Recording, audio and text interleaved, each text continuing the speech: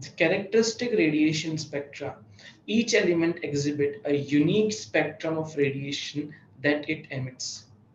When an atomic gas or vapor undergoes excitation at low pressure, typically through the passage of electric current, the resulting radiation produces a spectrum with specific characteristics and wavelength.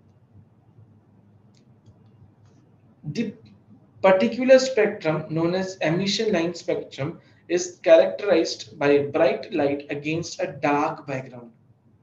The emitted radiation from an excited atomic hydrogen gas, for example, is illustrated.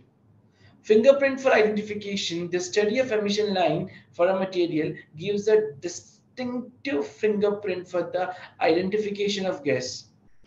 Each gas when excited emits radiation with unique and specific wavelength, creating a recognizable pattern. Transmission through these gases when white light passes through a gas and the transmitted light is analyzed during a spectrometer, certain dark line appears in the spectrum.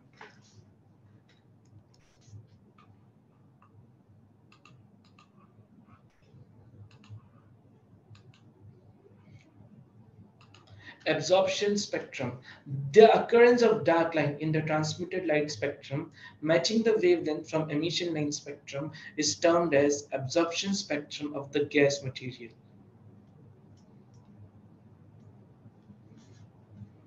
Of the gas material.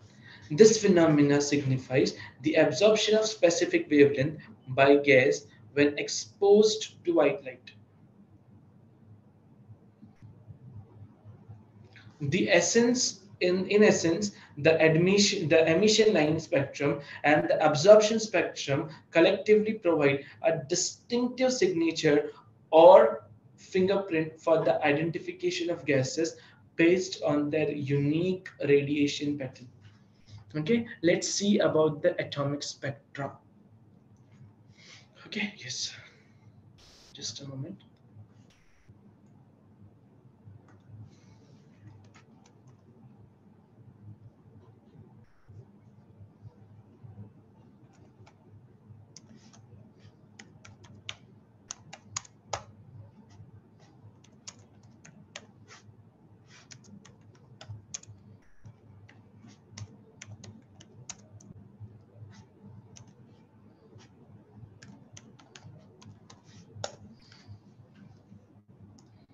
Yes. What about the atomic spectra?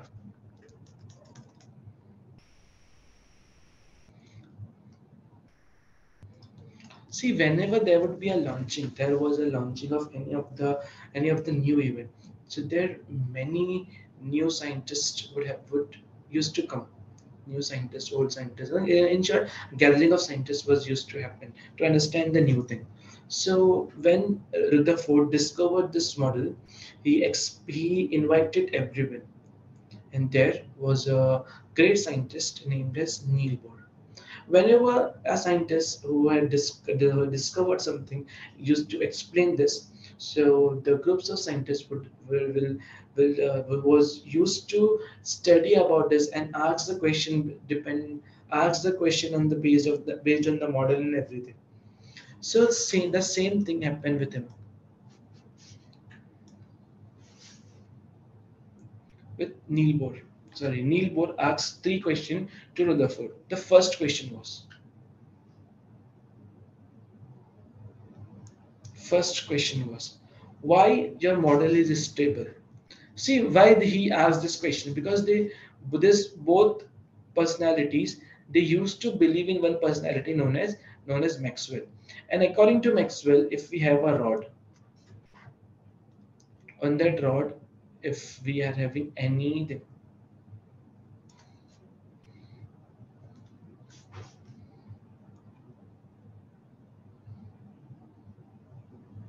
okay if you will if you will give a charge here. How to give charge? Just because this is a rod. On that rod we are attaching one balloon or we can add attaching some glass if we do that and if we rub this thing there will be a positive charge. Or there can be a negative charge.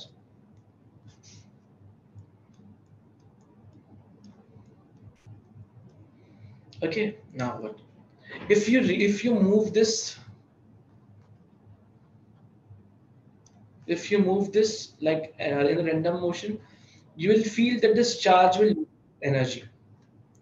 Its charge will lose its energy. Okay, yes.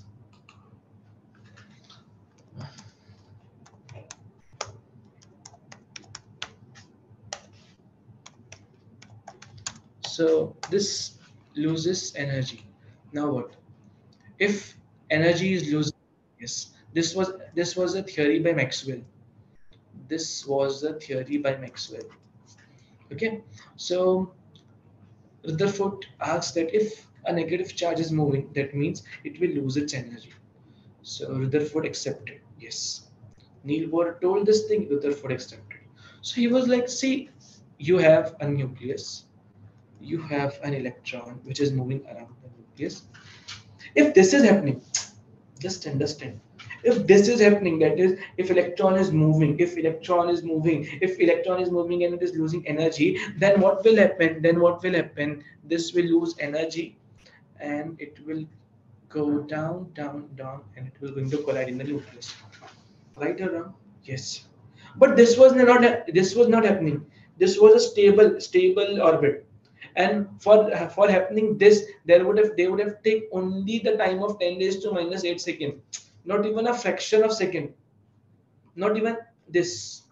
Not even this time. Okay? Not even a time in which i am saying this t. Okay? So but this was not happening.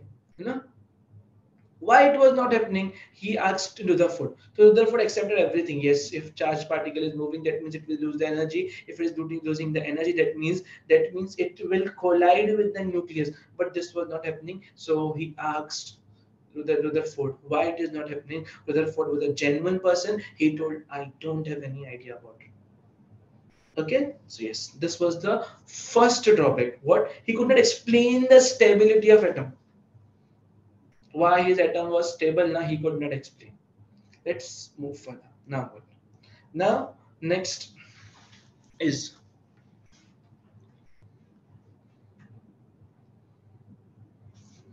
we have a nucleus.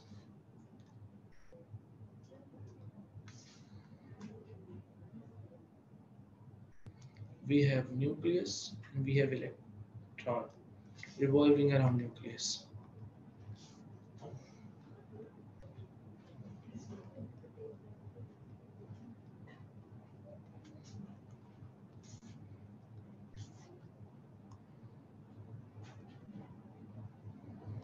we have a nucleus.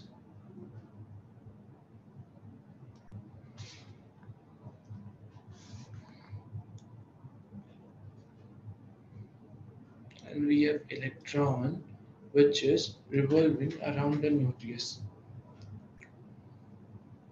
Electron which is revolving around the nucleus. Okay. nucleus and electron which is revolving which is revolving around the nucleus. If in this if in this I would have added heat.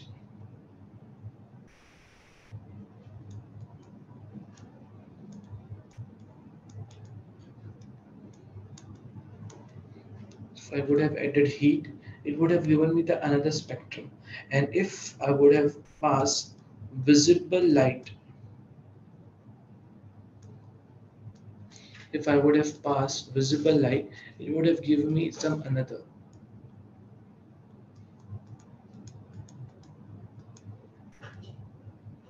some another spectrum.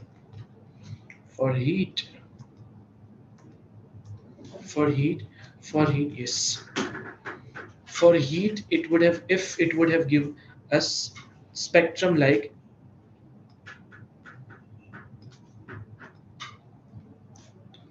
violet, blue, and yellow. So for visible light, it was given us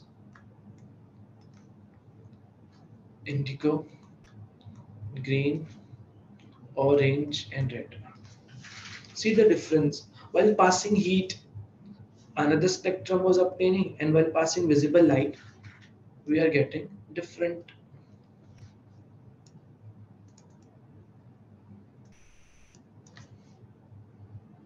Okay. Why this was happening? Because we should get a continuous spectrum. Okay but why this is happening? While passing we are getting another uh, spectrum while uh, while uh, means while passing visible light we were getting another spectrum. Why this was happening? He asked. Who asks? Bohr to whom? To Rutherford. Then Rutherford told I don't have any idea about this. So he could not explain two things. First thing was first thing was why why atom is stable second what?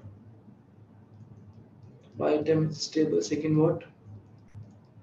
Second was why we are getting discrete spectrum not the continuous spectrum? Okay these two things was not able to was uh, this Neil Bohr wasn't able to explain. Okay